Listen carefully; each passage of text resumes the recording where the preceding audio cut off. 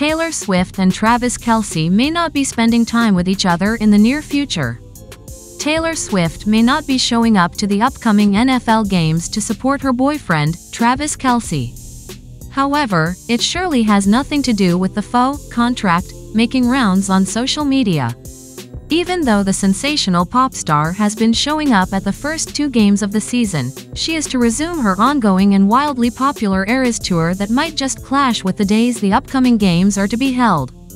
Comparing the schedules of the Kansas City Chiefs and the Lover Crooner, as of now, there might just be three dates that Swift might just skip.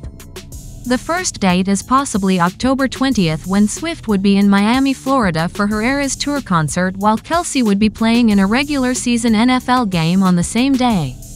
That game is a bog deal not only to the tight end but to his entire team since it's a Super Bowl rematch against the San Francisco 49ers, which is supposedly to be nationally televised.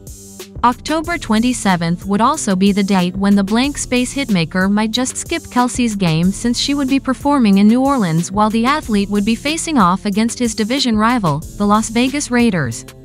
Lastly, December 8th would also be one of the dates when Swift and Kelce would both be busy in their endeavors, as the singer would be delighting the crowd of Vancouver while the Kansas City Chiefs would be playing against the Los Angeles Chargers.